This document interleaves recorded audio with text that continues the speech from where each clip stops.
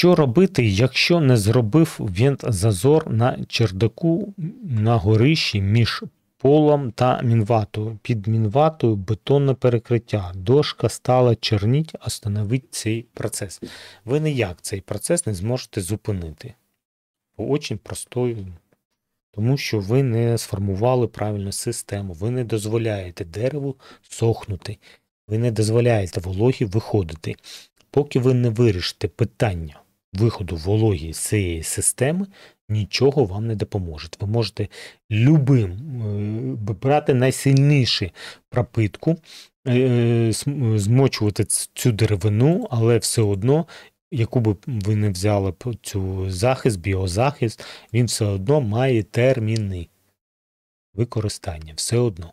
Тому все ж таки треба формувати правильну систему. Обов'язково, хлопці. Так. Дивіться. В інстаграмі є публікація, де я опублікував ось, ось такі. От ось таке креслення. Бачите, да? Ладно, бачите. ось таке креслення я опублікував. І ви можете тут побачити, е, що в нас є мінеральна вата, високодифузійна мембрана, потім контрабрешітка. Хочу звернути увагу, що нормативна ДБН, е, ну, многошарові конструкції, він каже, що мінімальний вентзазор повинен бути 40 мм. Ось мої помічники, котрі теж не полюбляють читати нормативи і цього не знають, вони взяли, вказали 25.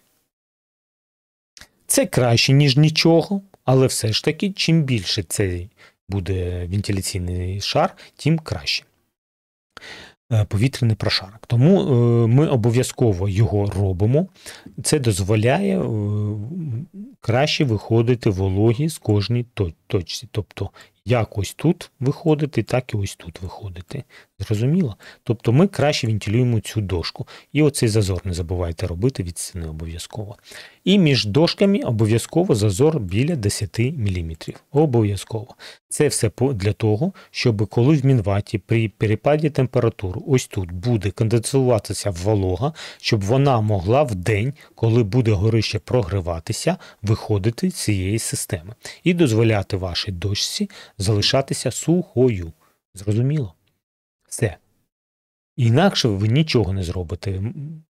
Тобто треба переробляти.